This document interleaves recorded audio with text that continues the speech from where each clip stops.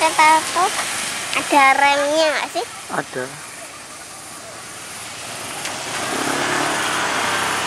bisa kok ngerem mendadak. Nggak bisa mendadak.